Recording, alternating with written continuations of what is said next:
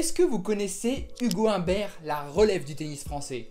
Si c'est pas le cas, alors je vais vous le présenter. Et salut tout le monde, nouvelle vidéo aujourd'hui, nouveau portrait, ça faisait longtemps qu'on n'en avait pas fait sur la chaîne, pour vous présenter un jeune joueur français qui actuellement lice à l'US Open aux états unis un jeune joueur de 20 ans très prometteur, qui pourrait faire partie de la relève française être un des meilleurs joueurs français, si ce n'est le meilleur joueur français dans les années à venir, c'est Hugo Humbert. Il est né le 26 février 1998 à Metz, c'est un Lorrain. Il mesure 1m88, il est professionnel depuis 2016, donc depuis 2 ans. C'est un gaucher, j'aime ça, avec un revers à deux mains.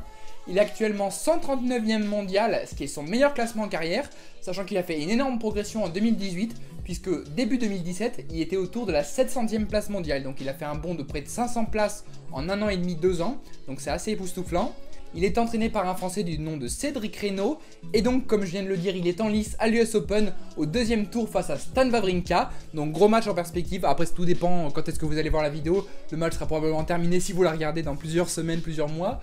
Donc, comme principaux faits d'armes qu'il a fait sur le circuit de sa jeune carrière encore, il a accédé pour la première fois à un tournoi de grande catégorie en étant aux qualifications du tournoi de Bercy en 2017 où il a passé à un tour avant d'être éliminé au deuxième tour.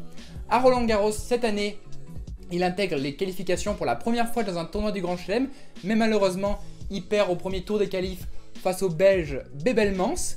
Mais son gros fait d'armes en termes de gros tournois, c'est avoir été aux qualifications du tournoi de l'US Open cette année et d'être sorti des qualifications après 3 victoires.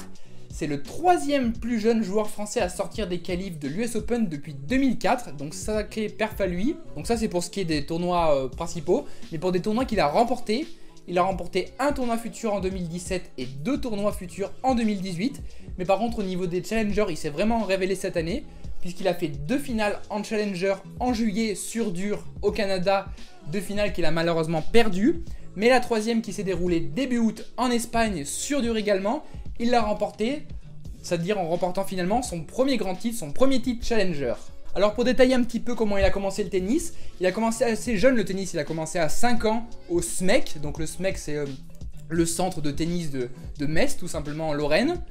De 12 ans à 16 ans, il intègre le Pôle Espoir de Poitiers, de 16 à 18 ans l'INSEP, et puis après le CNE, donc le Centre National d'Entraînement à Paris. Donc vraiment, il a gravi les échelons dans la Fédération Française au fur et à mesure.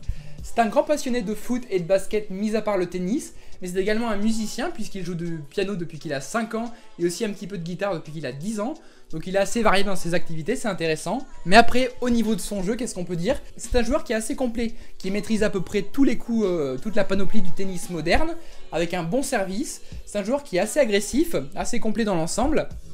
Mais voilà, on voit que c'est quand même quelqu'un qui est assez modeste, assez travailleur, qui n'hésite pas à passer euh, plusieurs heures sur le terrain, à, faire des, bons entraînements intensifs. Donc ça, c'est un bon point.